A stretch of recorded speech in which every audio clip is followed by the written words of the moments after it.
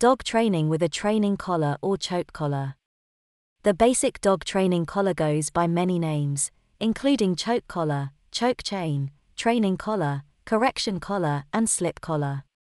These training collars are among the most popular and most commonly used tools with both amateur and professional dog trainers.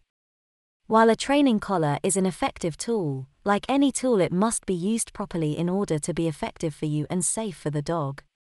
Among the most important considerations when using a training collar are how the collar fits the dog. It is essential that the training collar be properly fitted to the dog. A properly fitted training collar is easier to use and safer for the dog. Putting the training collar on properly. There is a right way and a wrong way to fit a training collar, and putting it on wrong will make it both ineffective and potentially dangerous. Using the collar properly. A training collar should be used as a sharp reminder to the dog, not as punishment. It is important that constant pressure be avoided when using a training collar the weight of the chain and the size of the links on the training collar. It is important that the weight of the chain be appropriate to the size and weight of the dog. The placement of the collar on the dog. It is important to properly place the collar on the dog. The importance of a properly fitted training collar. Determining if the training collar is the right size is relatively easy. The ideal size training collar should fit snugly, yet comfortably over the dog's head.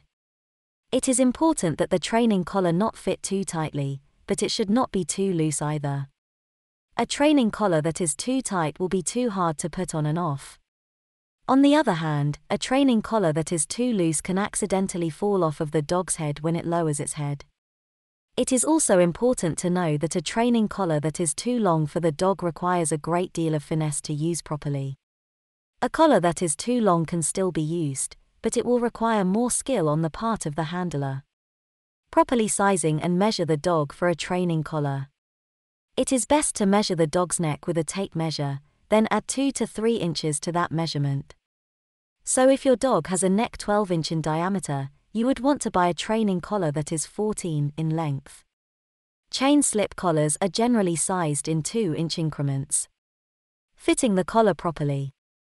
When fitting a training collar, the part of the chain which is connected to the leash should be on the top of the dog's neck. With this type of arrangement, the collar releases the instant the leash is loosened. Training collars work by making the collar tight and loose in a fast manner. Tightening the collar is the first part of the correction, and making it loose is the second part of the correction. If the part of the training collar that is attached to the leash is not on the top of the dog's neck, the collar can still be made tight, but it will not release back to a loose state easily. This constant pressure on the dog's neck initiates a counter response on the part of the animal, and the dog will quickly learn to pull and strain against the leash. Finally, it is important to purchase a training collar that is well made and strong. Buying a high quality training collar, slip collar, or choke collar is vital to the safety of yourself and your dog. If the worst happens, and your dog's training collar does break, it is important not to panic. Most dogs will be unaware that they have broken the collar, at least for a few minutes.